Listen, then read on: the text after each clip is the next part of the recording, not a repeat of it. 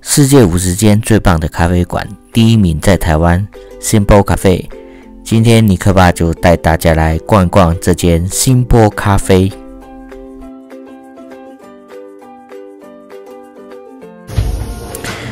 在店里面摆设了许多他们店内贩售的商品，还有这个咖啡冲调的方法，以及许多咖啡冠军吴泽林他所得到的冠军讲座。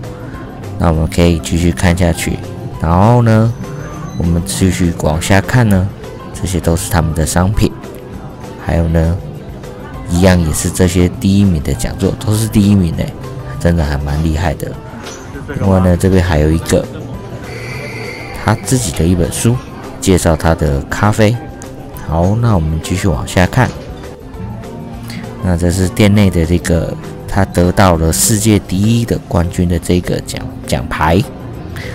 那我们可以看一下这个这个咖啡店的全景。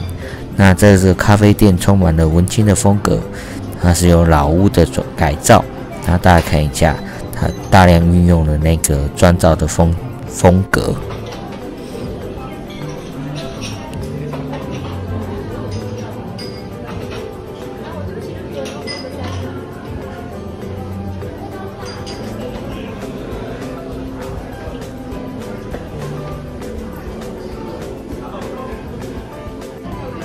这个场景是不是似曾相识？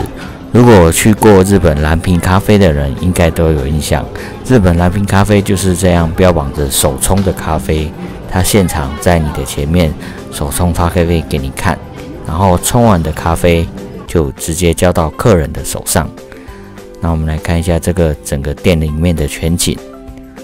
对，走的是一个简单简约的文青风格。还有这个我最喜欢的这个天井的部分，非常的漂亮。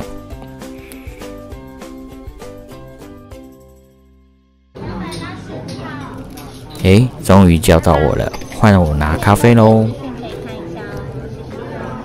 那我今天点的是乔丹水洗咖啡，是哥伦比亚混合品种。好的，那我们的今天的影片就到这边。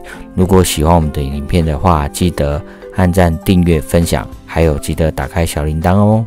谢谢大家。